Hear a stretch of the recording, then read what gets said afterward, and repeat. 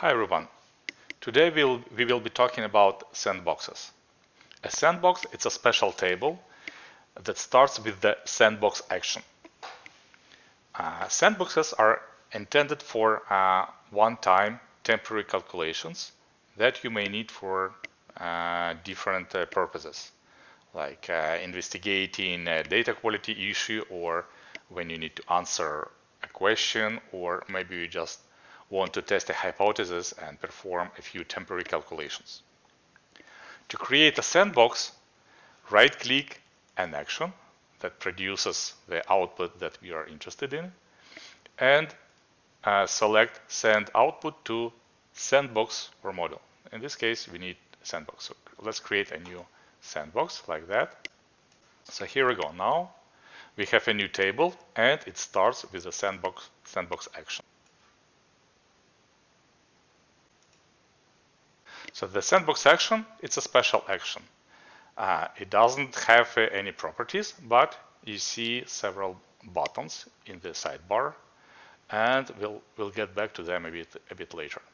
So how can you use uh, sandboxes? Well, it's a regular table, so you can apply any actions that, that you think are necessary. For instance, we want to test a hypothesis and we want to see if the number of companies in, in let's say, Texas are greater than 50.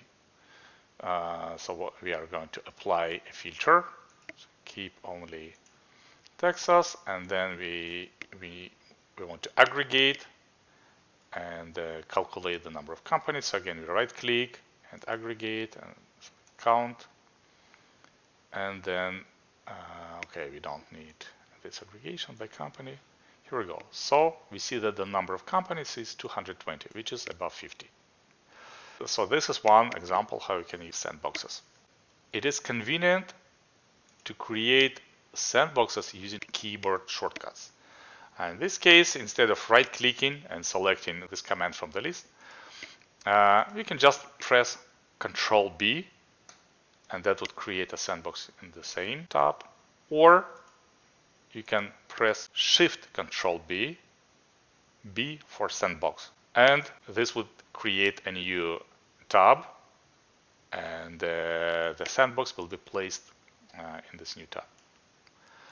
Uh, calculations in sandboxes are temporary, which means that whenever we uh, design calculations, uh, the actions remain, but data will not be saved in the sandbox when you exit the application.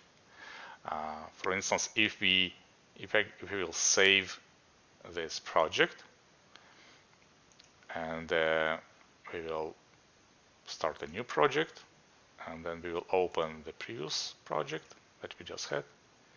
You can see that the sandbox is now empty. That's because sandboxes are intended for, for temporary calculations. Now let's look at the sidebar and see what buttons do we have here. So when a sandbox is empty, there is a number of ways how you can populate it. Send output of any action into, into sandbox. For instance, if you select this action, and right click and send send output uh, send output to sandbox. You see now we have uh, the sandbox in, in our list of sandboxes available here. So we don't have to create a new sandbox every time. We can send some data set into an existing sandbox like that. Okay let's go see that. Okay here we go. Now we have this uh, this list here. Um, or maybe if you go to this section and right click it now and say send output again to our sandbox. Let's go and see. Okay, now we have a different table here. Uh, other options are uh, we can simply simply paste data. Uh, for instance, if you have an Excel spreadsheet like that. Now, if you cop copy this data set and go to EasyMorph and paste data, we can immediately uh, see that uh, the output uh, has been updated and we see this table from Excel in, in EasyMorph. It is convenient uh, in cases, uh, for instance, when you have an Excel spreadsheet and you want, again, you want to test a hypothesis or maybe you want to perform some calculation, but you don't want to use Excel for that. Well, sometimes Excel is not the best tool for the job. And instead, you can simply copy copy a data set or a subset of it and paste it in uh, in a sandbox in EasyMorph and do calculations uh, and uh, transformations here using the sandbox action. Another option, you can simply import data into the sandbox from from any dset file. Okay, for instance, we select some action and here we go. Now we have now we have uh, another data set in, in the sandbox. Another interesting feature of uh, sandboxes is that they uh, skip actions automatically if the sandbox has no data. Let's create an action that would remove uh, companies with uh, no information about workers. So I'm going to filter, remove empty values like that. Okay, and maybe let's remove the revenue per worker column as well, and this column as well. So we have a few actions here. Let's see what happens if we save this project and reopen it again. So we save it. Now we uh, let's create a new project just to make sure that the previous project is gone. And let's reopen it. So you see now uh, the sandbox has no actions and all the uh, sorry has no data and all the actions are skipped in the sandbox. This is convenient because if, when uh, when you open application, sandboxes uh, have no data, so these actions won't produce any errors because they will be automatically skip, skipped. So let, now let's see what happens if we populate this sandbox with a, with a data set like that. And here we go. Now these actions are automatically calculated. An interesting feature of sandboxes is the ability to, to do re-sandboxing. So what is re-sandboxing? For instance, you calculated, uh, you applied a few actions, so you produced a result. Now you want to continue from this point on. So maybe you don't need previous calculations. You just want to uh, to make it the new starting point for your sandboxes. Basically, so you want your sandbox to keep only this data set. Uh, for that, you right click an action and select re-sandbox here. So let's do that. So when I press that, here we go. So what happened? Uh, the actions before the clicked action were removed and now we only have uh, only have the output of the action that we clicked as the uh, as the contents of the sandbox. If we had any actions after uh, the action we clicked, they would still uh, remain here. We just didn't have them. Uh, but all the previous actions are removed, so we we like squeezed uh, our uh, transformation chain, and now we kept only only the result that we are interested in. So what else can you do with the sandbox? There are many use cases where they can be uh, helpful. For instance, um, you want to check for changes after you apply uh, a change or you, you, make changes in your in your um, workflow. Uh, let's say we have this. Okay, let's remove this. So we have this table, and uh, now we want to make some changes uh, in, in our chain of transformations and then we want to then we want to see if if it affected the output. So we want we want to to be sure that what we've done it's either affected or didn't affect um, the, the, result of calculations.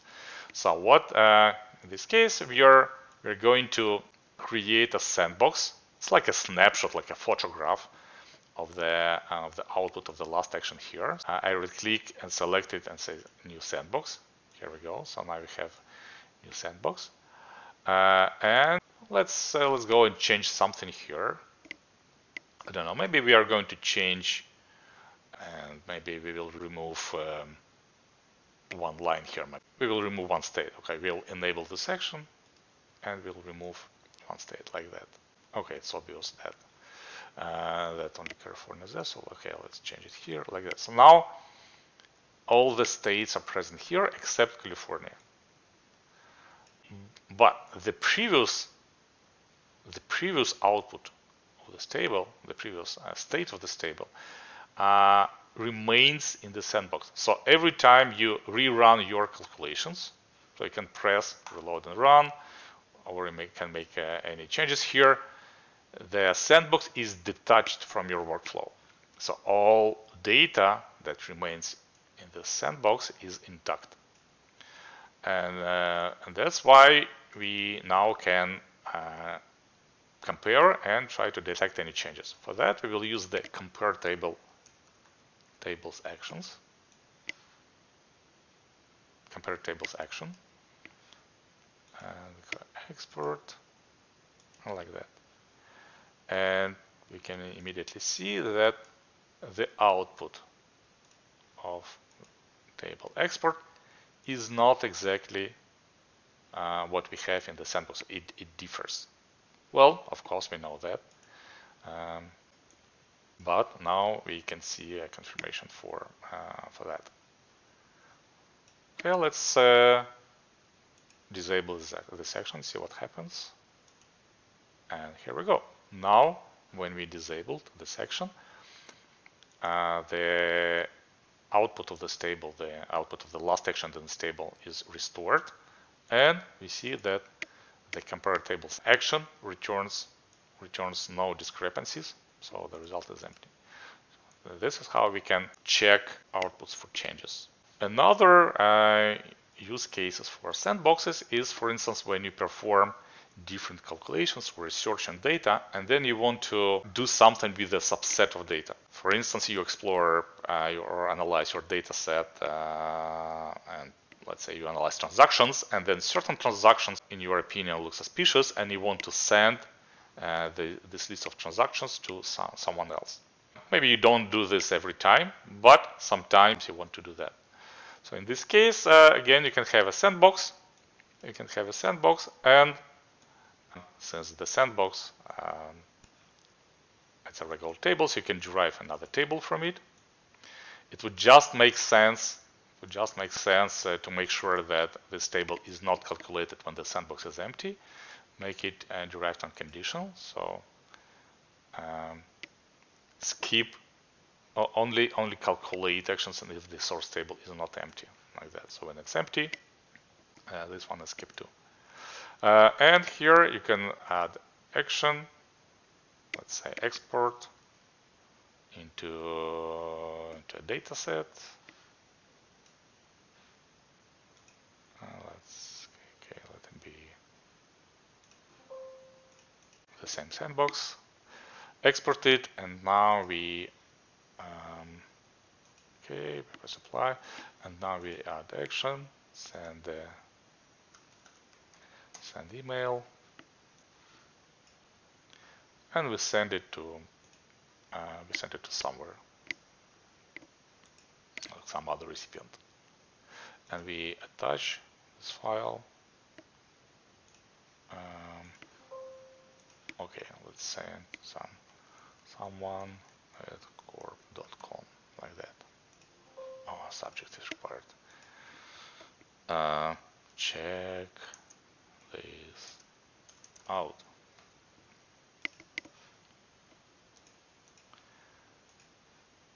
Now when I uh, when I work with data, I can do some research. I can do okay. Let's maybe I want to enable this section here, and maybe I want to um, cut, uh, trim table, and I want to trim tables below this row, so to limit our, our our, uh, our data set and then and then the result uh, I send the result into the uh, into the sandbox like that. Or I could do all the transformations uh, I could do them here that's uh, that's that's also possible and that's another option and uh, now I, I just right select the section if I press run action then it will send it will uh, uh, send the contents of the sandbox to to the person who has specified here. If uh, the sandbox is empty, again, let's save this project and um, I'm, I'm going to reopen, reopen it.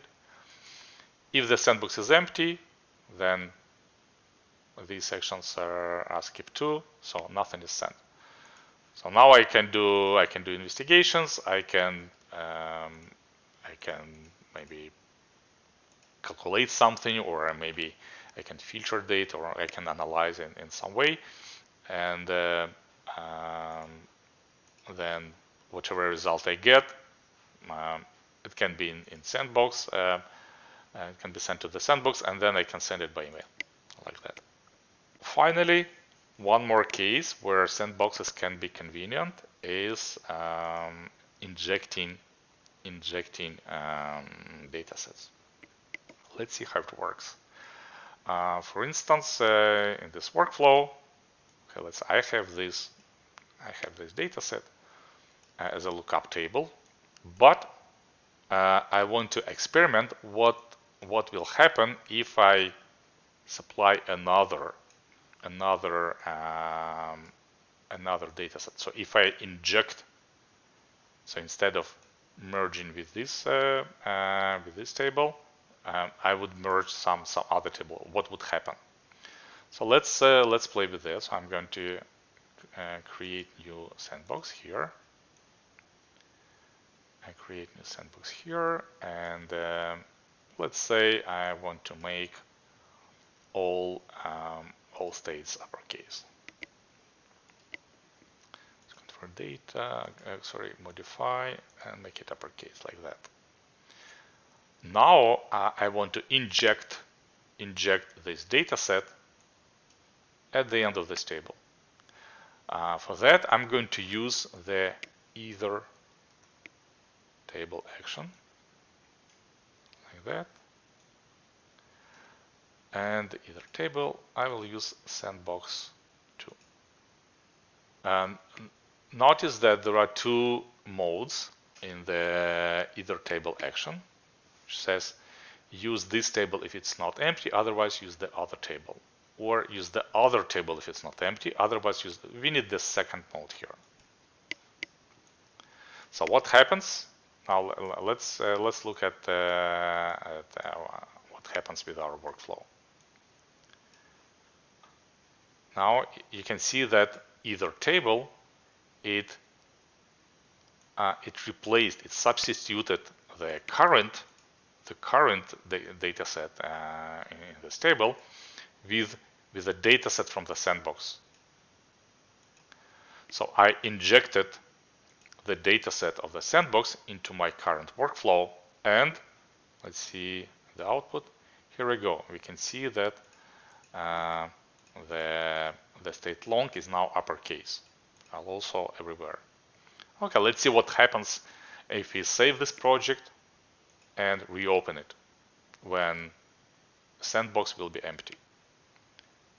Okay, I reopen the project and here we go. So you see now the sandbox skips, uh, has no data, so it skips uh, all the uh, actions here and because it has no data, well, its output is empty, then the either table does not inject its content, uh, contents into, into our workflow, and we keep using the original uh, data set that comes uh, from, from a text file.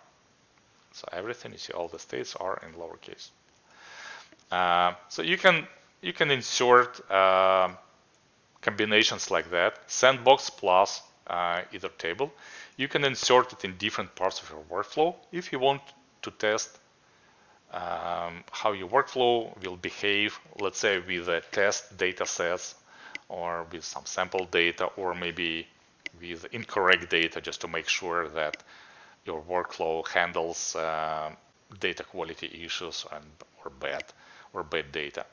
Uh, so this is a good example how you can use uh, the sandbox action. Uh, that's it for today. Thank you.